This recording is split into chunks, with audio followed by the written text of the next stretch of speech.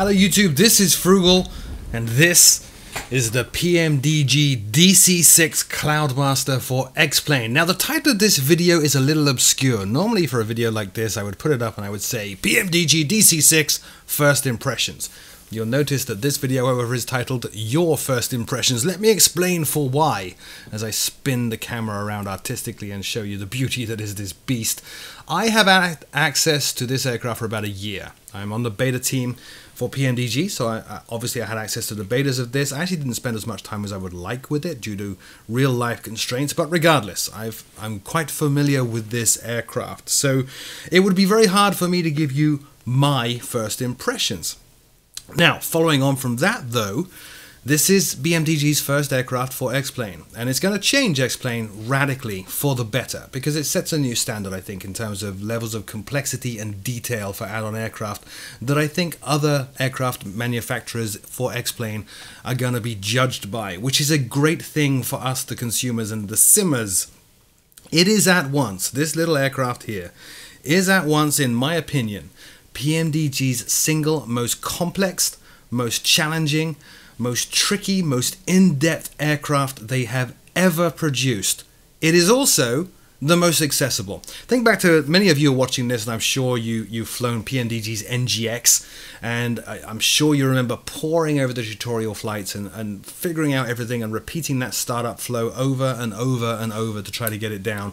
And it took it took me at least many many months. In fact, I started this channel by doing the tutorial flights for the PMDG 737 NGX, and I used practicing to, for those videos to actually learn how to manage that aircraft. It was a deep and challenging aircraft. This is worse, but you can actually just jump in and fly it. So this video is really your first impressions. If you're watching this video and you've just picked up the PMP, um, I can't even pronounce it. If you've just picked up the PMDG DC6 or are planning to, I'm going to show you the quickest, easiest way to get from A to B somewhat realistically, making use of a wonderful automation feature that is brand new from PMDG in this aircraft, which is not going to work. That the AFE, or the Artificial Flight Engineer. I will go through what he does and why he does it in more detail. Now, there's a lot to talk about, obviously, in this flight. It is somewhat a first impressions, I guess, in that the format of the video will be to show you things that you've probably never seen before and give you a good guided tour of everything there is to know. So, there's a lot to talk about. It's a short flight. We are at Sacramento Executive, which didn't used to be Sacramento Executive. KSAC used to be just a general airport, and United used to fly the DC 6 from San Francisco to here. In recent years, however, it's become more of a GA airport, but it, regardless, I thought I would recreate one of those flights. Now, normally the flight would go from San Francisco to Sacramento. I find the uh, visuals and the scenery are far more impressive going the other way, so we're going to fly from here to San Francisco. Simple. Now, you've just got the aircraft, you've just installed it, you're sitting maybe like I am here on the apron figuring out what the heck do I do next. What you do next is click on over here. This is the Ramp Manager version 1.0 and it gives you access to tons of wonderful features of this aircraft that I will walk you through right now. So all these lovely exits that are open and highly detailed and the ladders and the maintenance ladders underneath the engines, all of these can be toggled on or off very, very simply. Look, we just click on mechanic stands and they go away or we can bring them back. We can click on oil pans and they go away or we bring them back. We can close exits, for example. So front cabin exit, let's close that one. Oh, that didn't work. Why didn't that work? Maybe that did. No, it didn't. That's not going to work. All right, I'm not sure why those are not closing, but regardless, ah, oh, there we go. Stairs are leaving Uh, and then we can start getting rid of the cargo holds. They should be animating themselves close. It's very hard to see with that big old dialogue in the middle of the screen, isn't it? But they have actually closed, and so on and so on.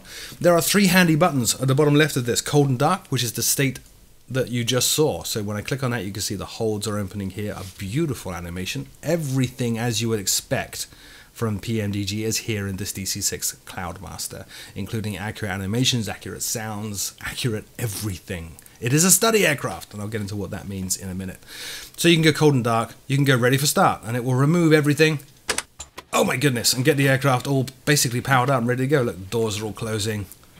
This is a plane that is about to go flying, which is cool, or you can even say ready for taxi. I'll go back to cold and dark for the time being. Let us go Well, I've been spinning the camera around, so you've been seeing this, right? It is an absolutely stunning model. There are a number of liveries. I'm not sure how PMDG are shipping the liveries out. We on the beta team had to download them separately. Hopefully they're included in the installer that you get when you buy this majestic beast, but I'll show you what they are. So if we go up here and open aircraft, you have a 6A and a 6B. In the 6B, the passenger one, we have American Airlines, Ansett, Canadian Pacific, Iceland Air, KLM, NCA, Northwest, Olympic Air, and so on and so on. If we go into the 6A, the cargo one, we have Everts, we have PMDG's house colors. There are 6C house colors as well, the cargo proper proper proper cargo variant, and Empress of Suva. But we're not going to do any of that. We'll cancel. Let me go into the flight deck. This is where it gets stunningly complicated, and this is why I'm showing you this, your first impressions.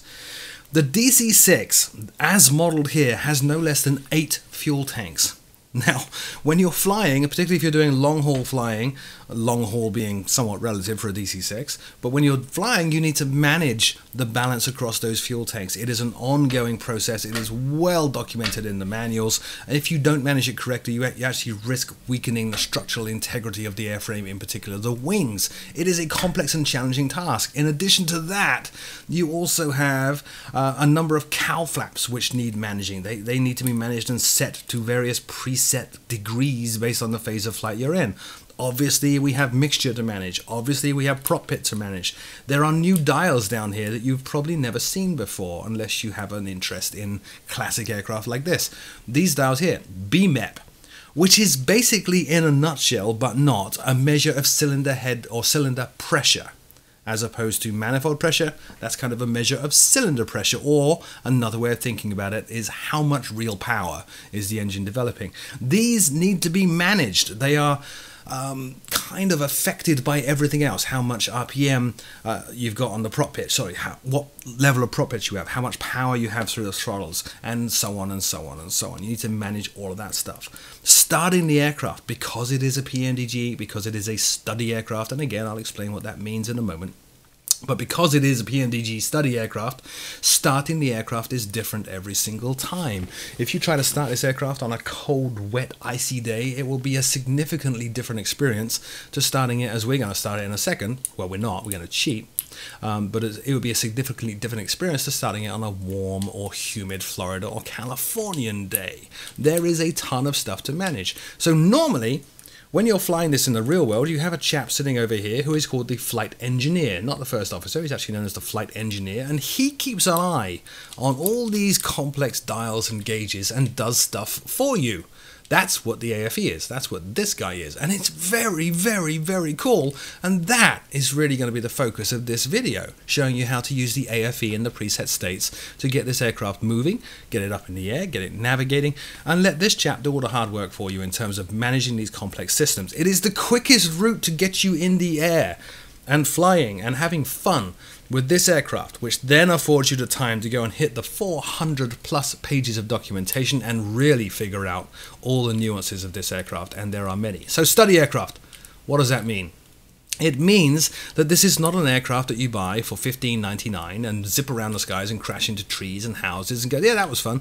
This is an aircraft that is designed to give you enjoyment by studying and learning every facet of what it was like to actually pilot these majestic aircraft in their heyday. You are expected to read that manual, to, to really absorb it, to try things out, to learn how every system in this aircraft interacts with every other system and how to get the most out of the aircraft as a result of that. So if you are on the fence about buying this and you're not really interested in reading a bunch of documentation and all that good stuff, you probably would be wasting your money if you go and buy this. The real value of this aircraft is the study aspect. So again, that's why we're doing a quick start here. Let me show you how these quick starts work. It's actually very, very cool. By the way, the views here, I have views set up with X-Plane's default view system. Simply position the camera wherever you want, press Control and the number pad key. It locks the view to that number pad key, and then you can simply tap the number pad key to snap back to that view. Anyway, if we fire up the ramp manager here, you can see we're currently cold and dark, right? If we fire up uh, this chap here, we could actually go ready for start and then we could tell the AFE before start. In fact, he will actually get a little bit better than that. We could actually go from cold and dark and say before start, and he does even more stuff, which is kind of cool. Let's go ahead and do him now. Cockpit pre-flight. Completed. Voice recorder. Tasted. Flight kit and ship's papers. On board. Fuel and fluids. Checked. Pressurization. Set. Manifold and duct pressure. Checked. Radios. Checked. Doors and hatches.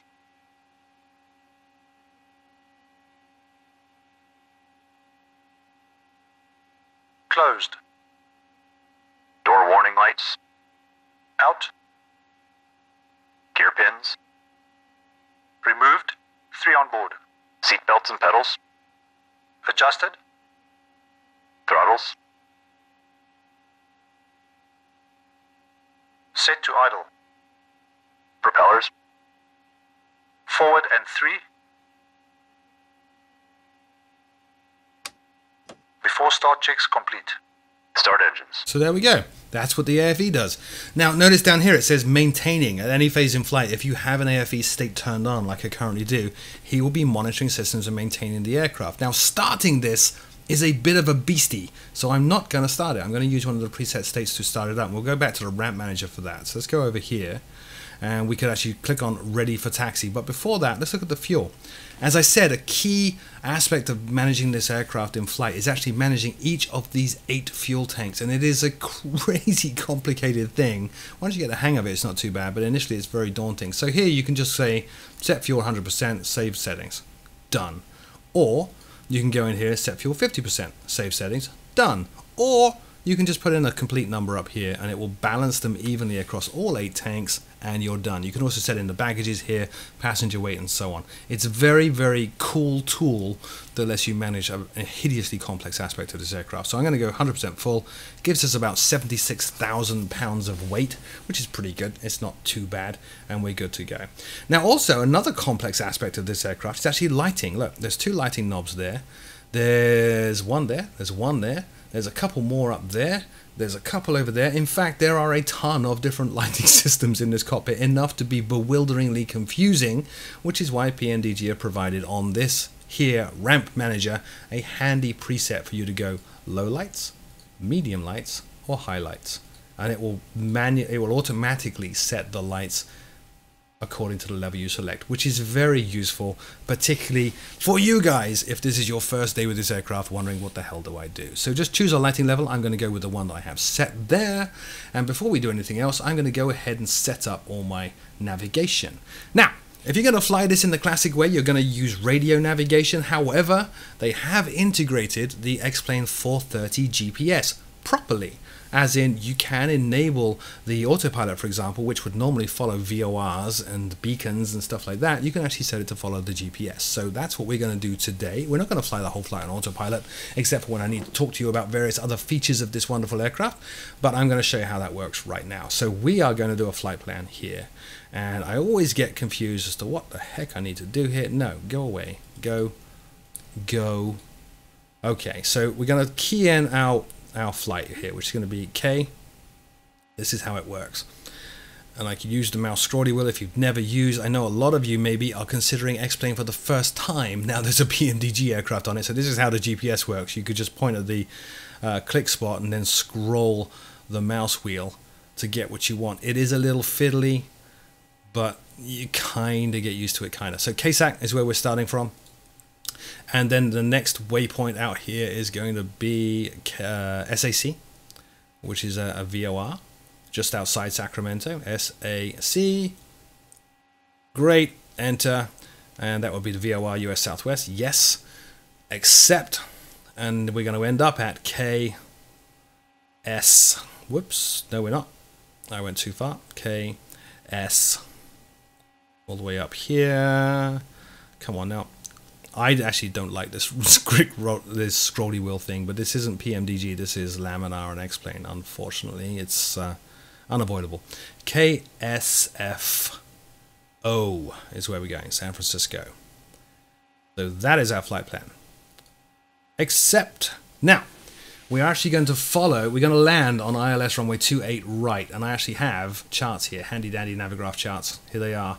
So it says radar GPS required, how handy, we have one, and we're actually going to follow this procedure here. So our initial approach fix is going to be a waypoint called ARCHI at 7,000 feet, then descending 6543 and landing on the runway. So we can actually settle that up pretty easily as well with the X-Plane GPS. So we'll go flight plan, no we won't, we'll go procedure, select approach, yes, we'll scroll down to ILS 28 right, somewhere down here, there it is, that one, enter, vectors or ARCHI is the initial approach fix, ARCHI it is, enter, load it, don't activate it, so it's just tacked onto the flight plan ready for us. Now, I currently have done this flight, obviously, so 111.7 is uh, the ILS frequency at San Francisco. We're going to swap that over. 115.2 is SAC, that's where we're going initially. And what we will do is click on this and make this GPS. And in so doing, let me get rid of that display, but eagle-eyed may have noticed a little GPS symbol pops up down here. Very, very handy for getting underway on your very first flight with this very, very complex aircraft. So we're all set on the radios, everything's good. Let's bring up the uh, ramp manager once again. Ready for taxi, please. I'm not going to go through the full startup. We will cover the intricacies of this aircraft in a complete series on this aircraft. It's that complex and awesome. So I'm just going to go ready for taxi. That worked. Now having done that, let's involve the AFE a little bit more. So we'll bring him up and we will say after start, please. Start select and boost pumps. Off and off. Battery switch. Plane battery. Generators and inverters. Checked and on. Emergency lights. Armed. Ground power. Removed. After start checks complete. And we're good to go. So the next uh, checklist is before takeoff, which we'll do after taxiing a little bit closer to the runway. No more to, no more to it really, so we can just start taxiing. Once we actually get up in the air, it's going to be quite a long flight, even though it's only 60 odd miles. The DC-6 is not a rapid aircraft, so we're going to have plenty of time. I can talk through all those other menus down there and show you some of the neat things that they do. But for now, let's just start moving. Hopefully my throttles are all in sync. I'm using a Go Flight throttle quadrant, so I have four throttle levers. They do occasionally get out of sync, but I find that to be more realistic, I think, than assigning one axis to all throttles, which of course you can. But then it just feels a little bit too clinical to me, that all the engines are always completely in sync. There's never any issues. I like them to be a little bit rough. We're going to turn around here, avoiding the ambulance that is on our left. And try to turn right onto that taxiway, which I always have a problem with, by the way, so I'm going to go a little bit wide here. There we go. And we're going to taxi out to runway 34 here in Sacramento Executive. And proceed on our way. I'm going to show you a pretty confusing feature with managing the takeoff flow on this aircraft. This aircraft, the DC-6, was originally created in the 40s. It was the first aircraft to be designated as Air Force One. So it's a very classic aircraft, and they have terms that many people are not familiar with, like BMEP, that I already pointed out. Like, uh, well, maybe some of you have heard about the next one, which is uh, M top, no, maximum takeoff, no, M. My gosh, I can't even remember the name of it.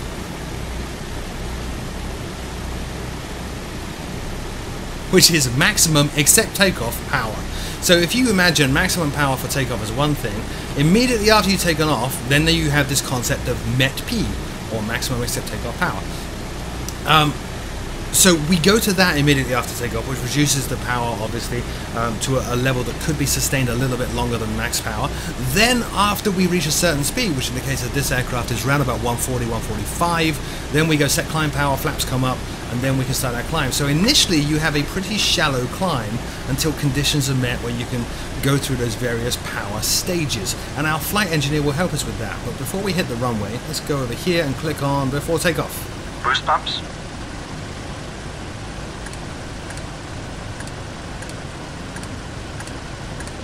Boost pumps on low. Fuel selector and crossfeed. Main tanks and crossfeed off. Autopilot and carb heat. Off and cold. Hydraulic system. Down, forward, pressure and quantity checked. Okay. Flaps 20.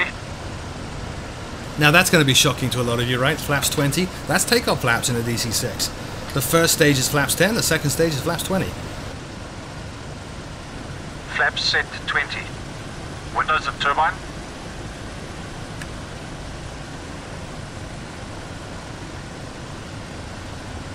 Closed and on. Controls. Gust lock released. Free. Heater. On. Mixture and cowl flaps. Reach and locked. Set. Transponder. On. Landing lights. Watch this. He pushes the levers down, then we have to wait for the landing lights to extend underneath the wings before we turn them on. Extended and on. There we go. Before takeoff checks complete. So, now we can line up. Give it a little bit of power, start moving. The aircraft is very nice to manage on the ground. It's very smooth. You're not, uh, it's not hypersensitive on turning or anything like that, which is great. It feels big and lumbering, yet somewhat elegant as well. Look at that shake.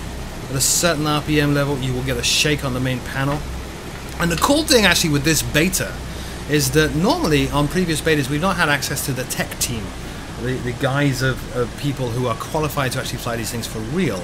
We tend to, in the wide beta, look at how they perform in a simulated environment. But this time around we did actually have access to pilots of the DC-6 and it was so cool reading some of the messages from them pointing out things like how much of a shake there is or differences with how a flight engineer would really manage things versus how the AFE is doing things and PMDG have been very receptive at building that stuff in.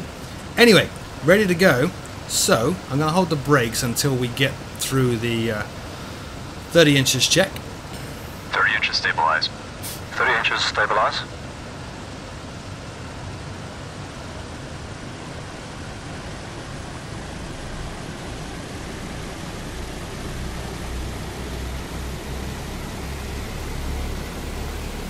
Nice shake there from the main panel very very cool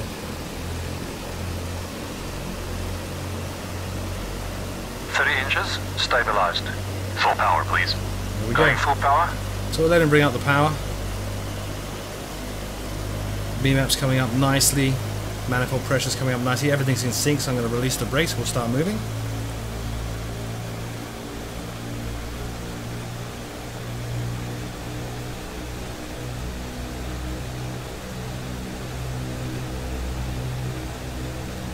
Power set. V1 today is about Cal 85. Cowl flaps. Cowl flaps set. Cowl flaps just got set to 3 degrees. There we go. We'll pull back.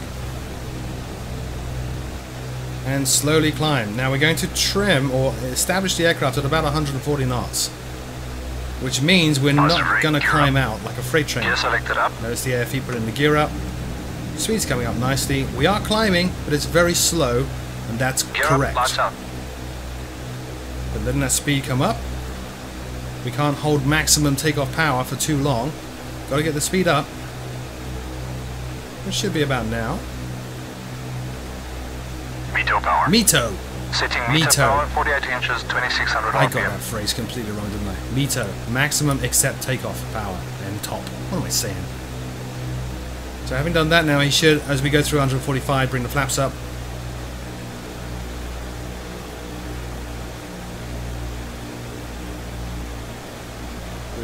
Pitch METO power set. for 140, Flaps up. flaps up, Flaps going up. and we'll start our proper climb.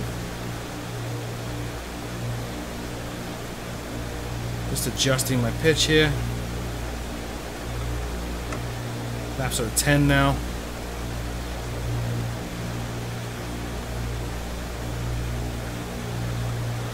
Flaps are zero. Let's pitch up. Flaps are up. Climb power. Climb power. Setting climb power. We're going to climb up to about 8,000 today. Just going to trim this aircraft for 140 and we'll start our left-hand turn to start heading out towards SAC. Now, the aircraft in manual flight like this is wonderful. Very smooth, also very heavy. So you've got to coordinate those turns. You've got to watch the horizon and its position on the windscreen and make sure you don't suddenly end up descending rapidly, which it Climb will power do. set. You really have to stay on After top of the aircraft. checklist, please. You can see the vertical speed indicator starting to drop already.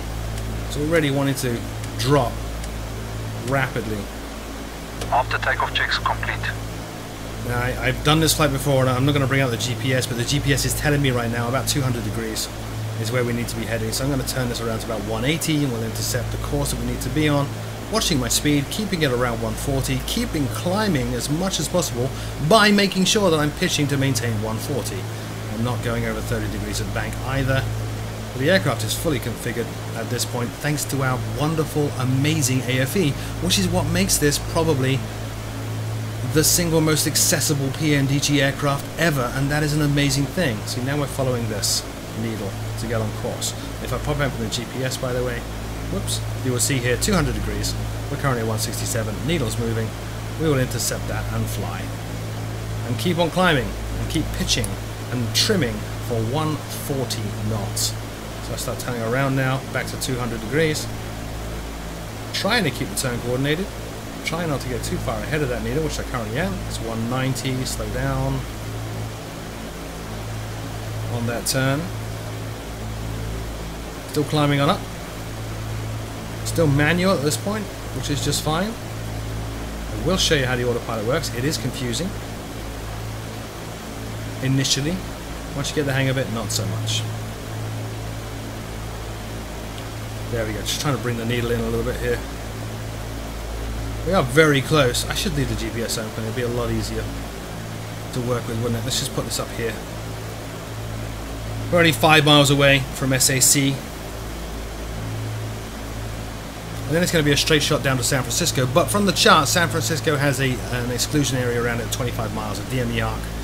So when we're about 35 miles away from San Francisco, we will go direct to the first leg of the approach procedure for runway 28 right.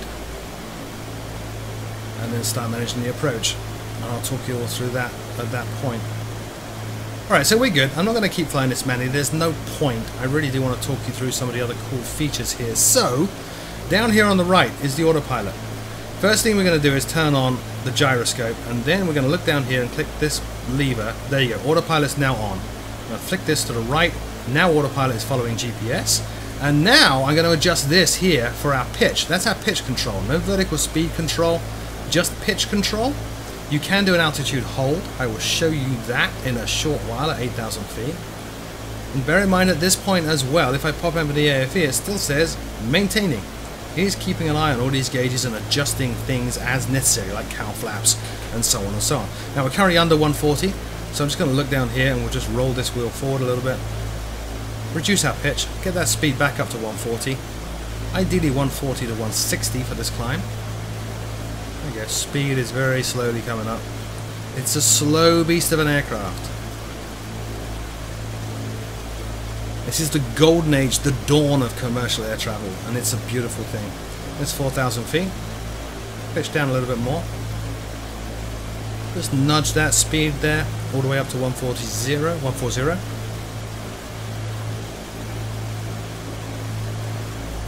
Come on, airplane. Perfect. Fact, if it goes over 140 at this point, we're fine. We're climbing at about 550, 550 feet per minute. It's going to be a slow climb. The aircraft does have pressurization. Pressurization panel is up here. You can go all the way up to 20,000 feet if you want to. I wouldn't. this is a very long flight. It takes a long time to get there. But again, that's where after you get through the, these initial flights using all the automated tools like the AFE and the preset conditions, once you get through that and you're, you're done and you want a challenge, then you stop using that stuff, go hit the manual, learn how to manage pressurization, learn how to manage the fuel tanks properly, do that all yourself. This is an aircraft that is going to last you for months and months, if not years, of very, very detailed, in-depth study. The aircraft itself is actually still used by Everts and a number of others up in Alaska. So there's some challenges there as well, Arctic flying and, and really bad weather flying, which would be very, very cool. So while we're still climbing, and it's going to take us a while, and we have 61 miles to go, let me show you some of these other things down here. So you already saw that, which is great. You already saw that, which is great, the fuel management, you've already seen the AFE. Then we have this. Look at this! proper maintenance hangar, just like in A2A aircraft. You can repair an engine, you can do that at any point. I could do that now if I wanted to. Repair my propellers, top up my engine oil levels, top up my water and alcohol levels, auxiliary oil quantity, anti-ice fluid quantity. It tracks the airframe hours and this is per aircraft. So the cargo variants keep track of their own numbers, which is very, very good. Underneath that we have this.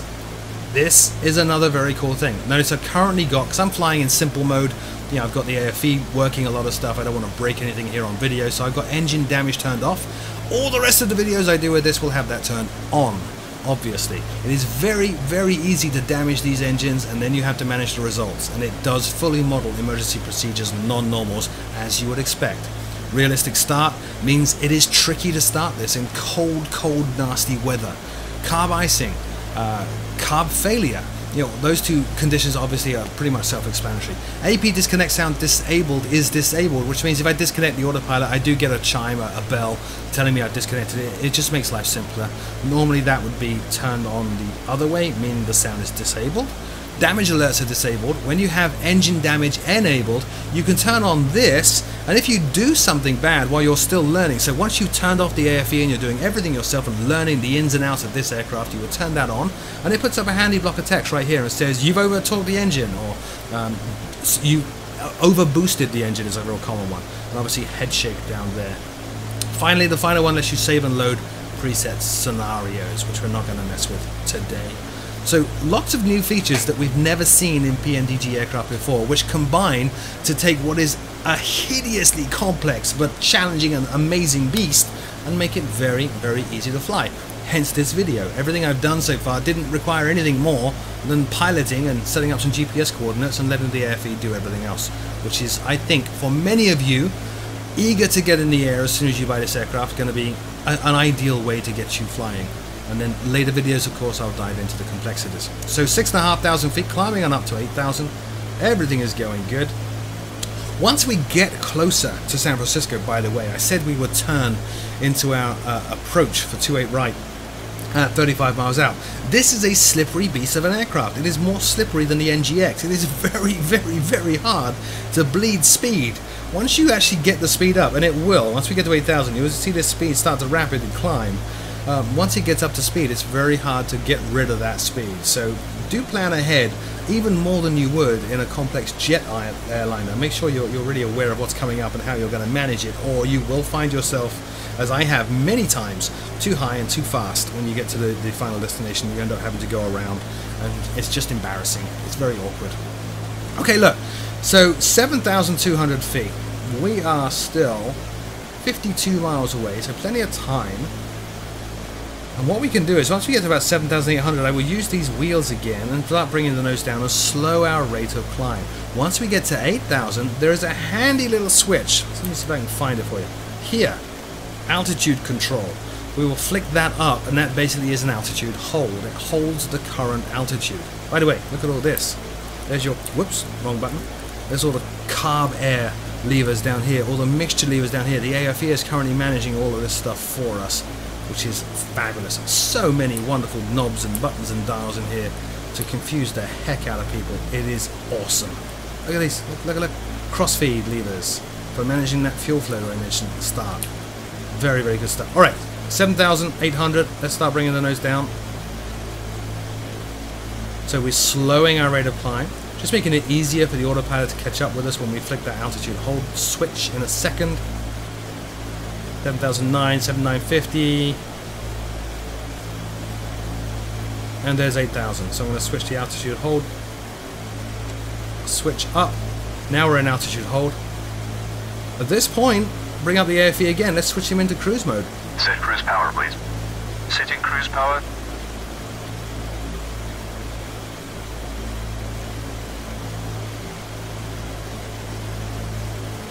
You'll hear the tone of those engines drop now as we settle in for the long cruise and the speed starts to climb. Beautiful. Absolutely beautiful.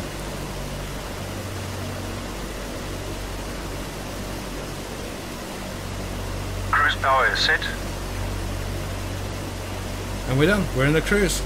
with 47 miles to go. So in 12 miles, we're going to turn onto that approach. Like I said, quite a short flight.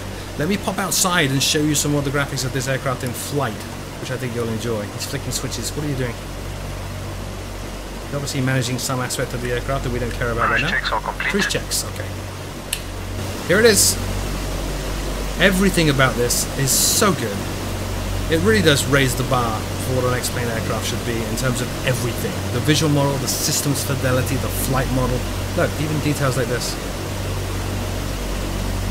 Flames coming out, the color of those flames indicated that everything is nice and healthy by now. You can see a little heat haze here as well. Beautiful. Absolutely beautiful.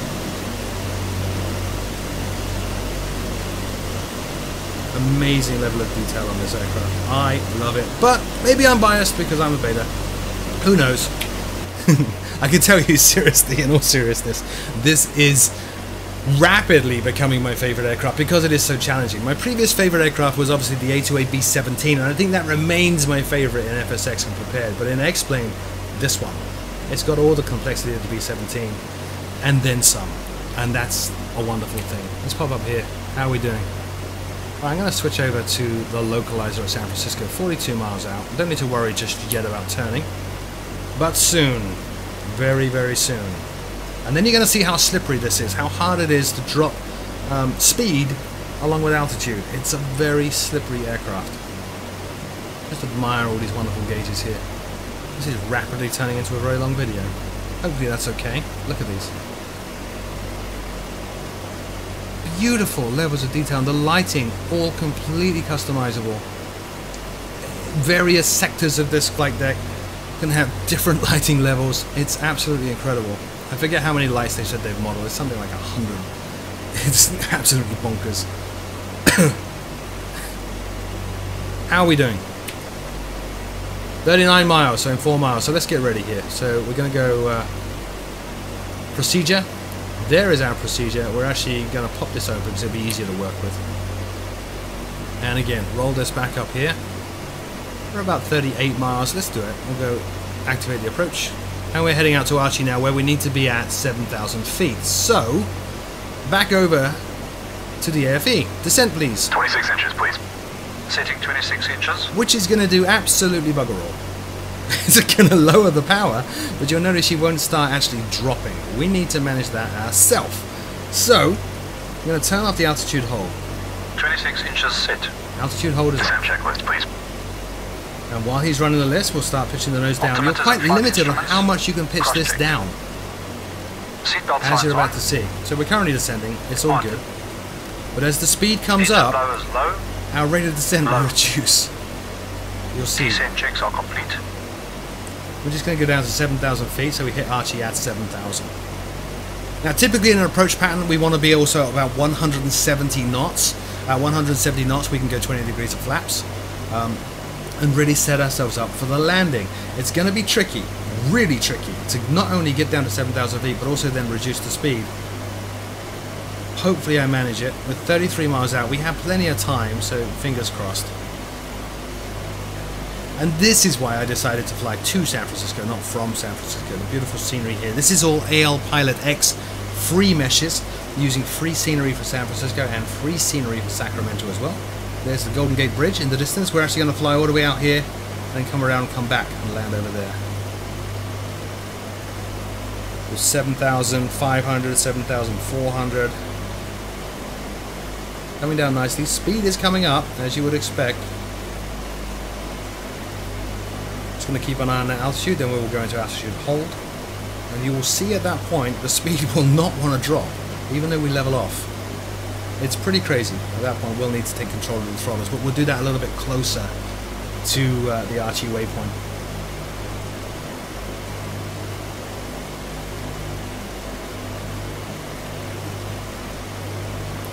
Seven thousand two hundred. Speed is slowly climbing up. 7,100. Let's get ready on that altitude hold switch here.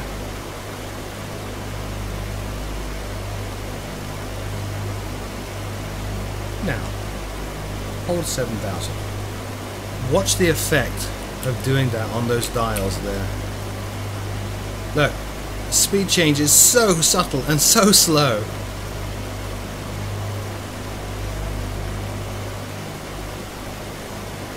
So at a certain point we will need to take control, which means I'm going to need to grab the throttles. I will actually probably need to take the AFE here out of descent mode. Some of these modes he controls the throttles and you can't.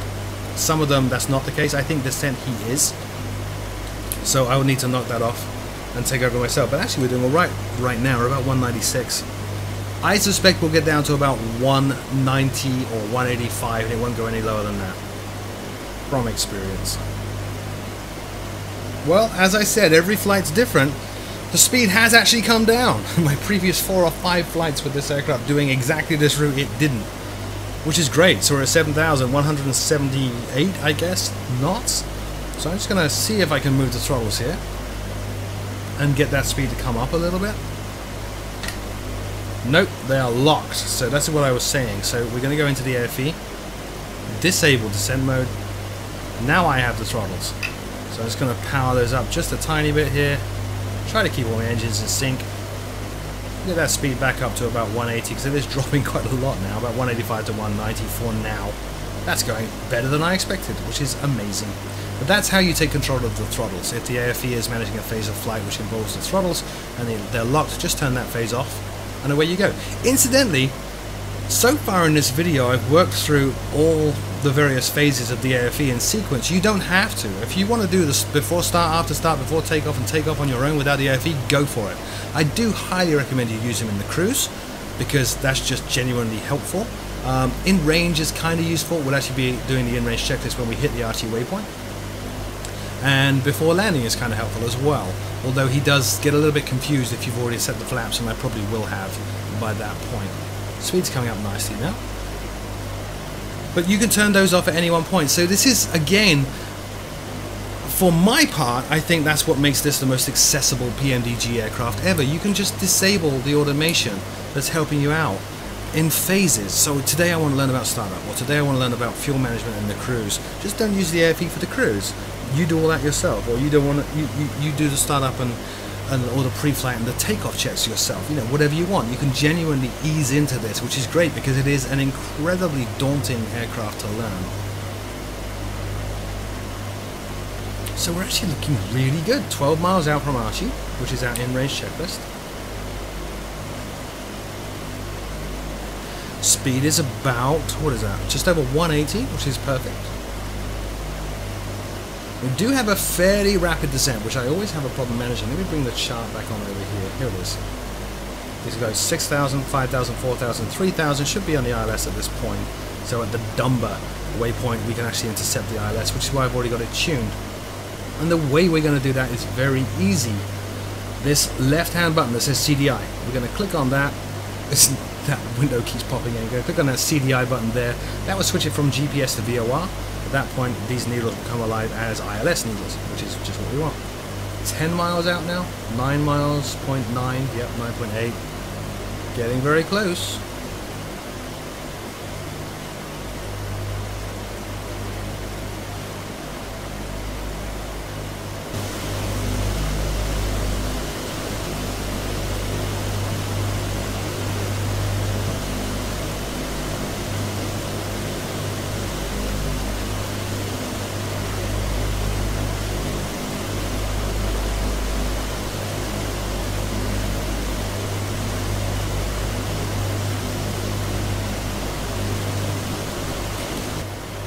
7.6 miles. San Francisco is off to our right now. Just about there. Alright, one mile out. We are turning at this point, so I'm going to let the aircraft turn. We are going to need to descend now, so I'll trim this forwards.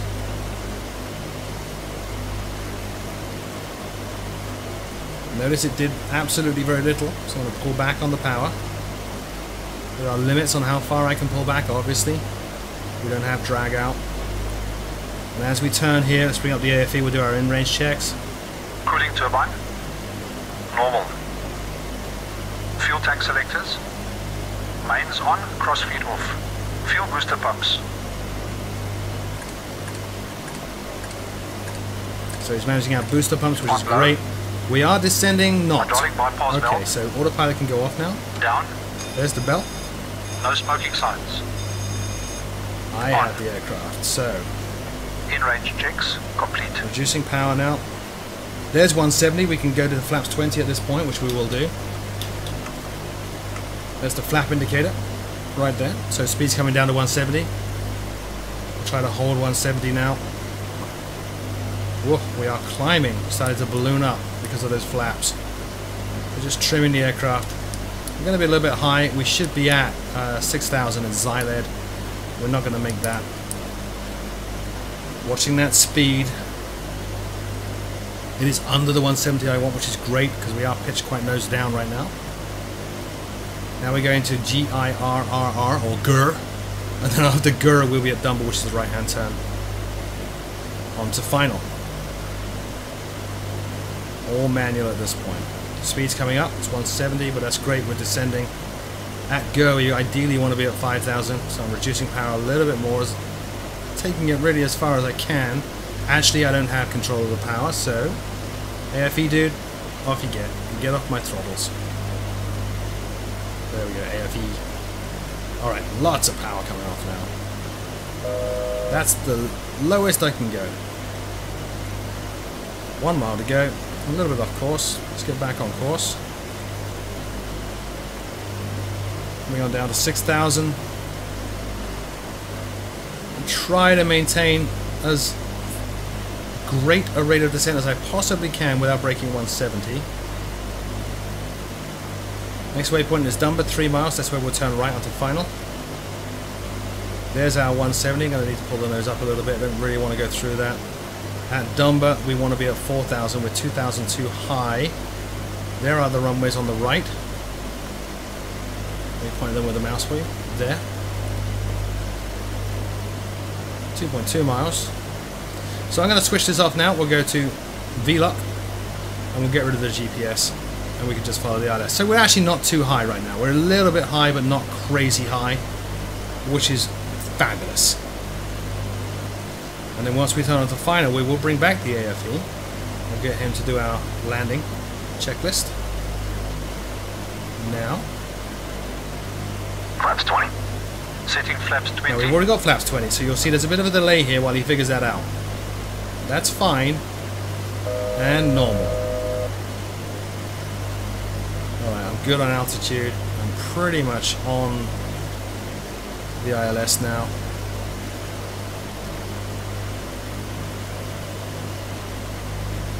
A little bit high, in fact. Let's go down. 20 flaps set. There we go. Mixtures rich, please. Auto rich. Mixtures set. Speed's coming down nicely. Gear up and down, please. This is going to really Gear bring the speed down. down, which is great. I'm going to land flaps 40 today. A little bit high on the glide slope. Gear down and locked. Three greens. Props. 2400 RPM. Just trimming it.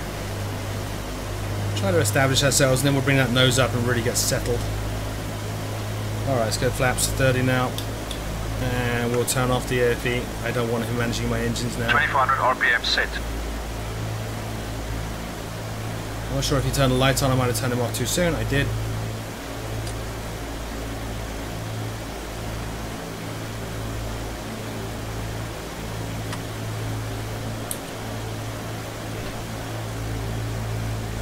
Alright, so we're slightly to the left, and we're a little bit too low now, which is great. Where I'm at my flaps? Flaps 30, which is good. Reset my view. Go over to the right. We do have a bit of a crosswind here today as well. Now I can start bringing the nose up because we are nicely a little bit too low, so I put the nose where it should be for landing.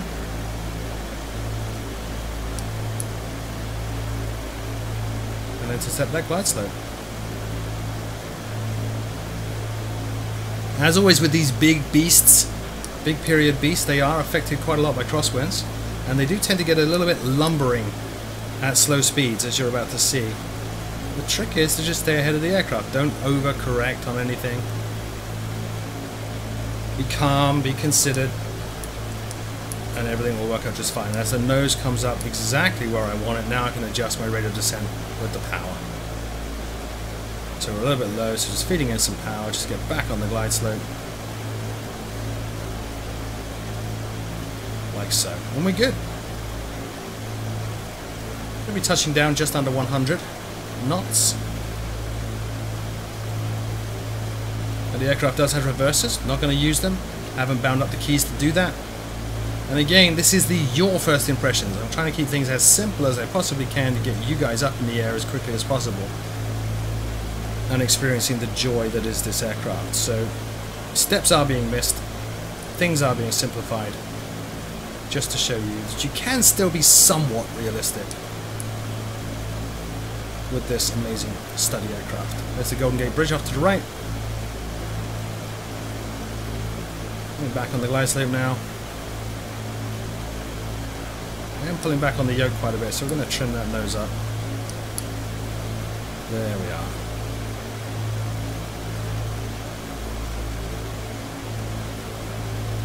Definitely on finals now, a little bit off to the left. That would be the crosswind kicking in, so we're going to do a slight crosswind crab as we get a little closer.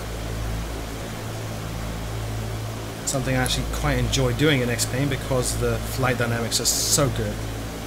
Speed is perfect. 2000 feet, I'm not going to go final stage of flaps just yet. I do need to bring the nose up again, which means I'm going to bring the power in at this point. I Don't want to drop too slow on that speed. And we are low, so by bringing the power in, we reduce our rate of descent. Let the glide slope come back down. There it is.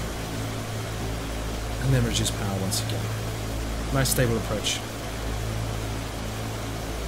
Clouds here, by the way, SkyMaxx 3 Pro. I am using the real weather connector as well from X Aviation, which adds a whole new dimension to X-Plane. It's kind of like a simplified Active Sky Next for X-Plane. I'm very much enjoying it. Where are we at? We're too high. Okay, off the power. There's the outer marker. Alright, landing flaps.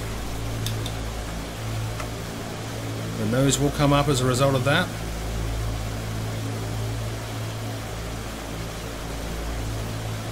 Still a little bit high, so reducing power.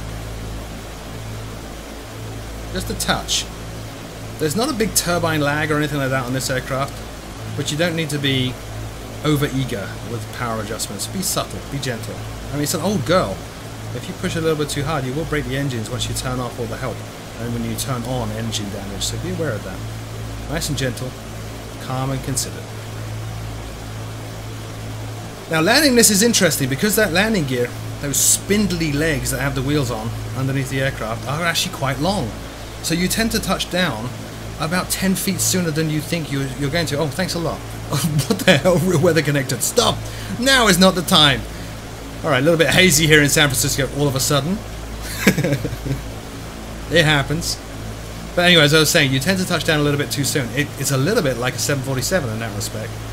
You're, you're actually quite high off the ground here in the cockpit once you're on the ground. What are you doing? I think that's the sunlight filtering through the haze, giving everything an oldie worldy, old fashioned look. I'm not too happy about it. If it does it again, I'm going to cheat. It, there you go. Alright, so we're going to cheat. We're going to move the time. There we go. Oh, I can't move the time. I had the time locked. So put up with the awful X-Plane induced flashing. Sorry about that, guys. I'm not going to pause the sim on finals and figure that out. I think it very much is sunlight glinting off haze and windshield. X-Plane get a little confused. We are too high above the glide slope, reducing power. You crazy sim, you! It's a level of challenge, doesn't it?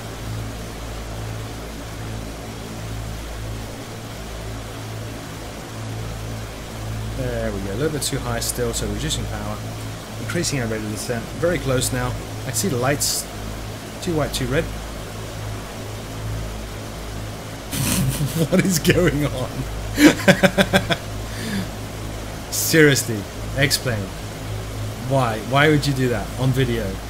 Seriously, there are times to do that and times not to do that. If you want to look your very best to the people that don't let fly you.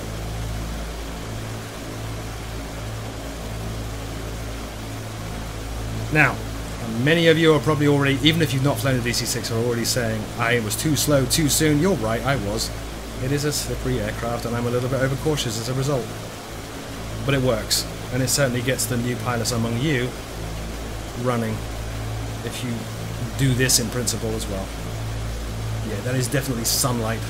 Early evening sunlight. I'm flying real time, so it's early evening in California. Alright, we're getting blown off course a little bit with that wind. We are too high, so bringing back the power. Starting to crab a bit. No reasons to panic just yet.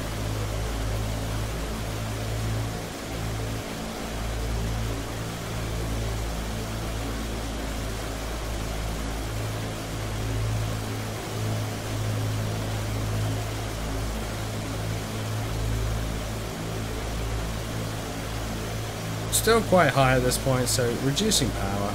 We'll bring the power back in to ease our rate of descent in a second. Here comes the slope now. So here comes the power. Got plenty of wiggle room for that. Alright, easy up on the power now obviously, we'll start that flare.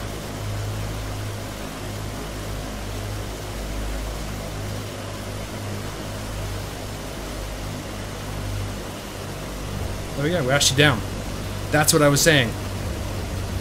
It feels completely wrong. Now at this point I could bring up the AFE as well and go through the after landing checks and he'll do all that stuff for us as well, which is awesome. What I'm going to do instead is simply depart this runway and we'll fire up X-Plane's amazing replay system and give you a look at what that was actually like from the outside. Great, and we'll stick a camera on the runway Is that the right runway? No. X-Plane got confused again. We'll fix that in a second.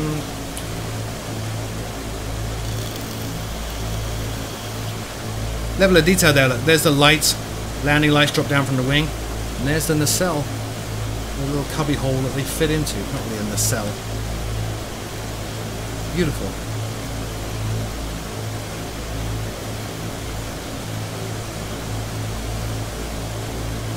So I guess in summary, I hope this was useful to those of you embarking on your first adventures with the DC-6 to get you up and running as quickly as possible. Now after you've done this and practiced this and you've got it down cold, hit that manual and learn all the ins and outs and intricacies. In terms of my opinions of this aircraft, again, they probably honestly are biased. Like I said, I consider people high up at PMDG to be close personal friends. I am a beta tester for this aircraft, so yes, I guess I'm biased. I honestly do believe though, really, excluding the bias, I think PMDG have done a fantastic job.